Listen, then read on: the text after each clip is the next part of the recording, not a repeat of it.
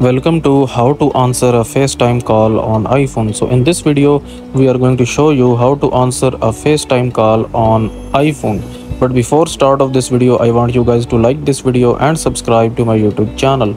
So first of all, make sure that you are connected to the wi- Wi-Fi here. Okay.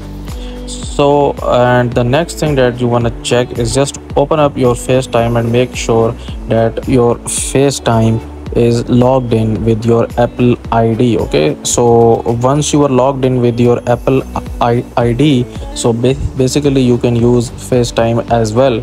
So now uh, what's you're gonna have to do here that here you can see that here it says that invite anyone to a call okay? So we will uh, what's we're gonna have to do we will just make a link here okay? Tap on create a link and it will basically make a link and then we will send this link to someone who want to call us on facetime.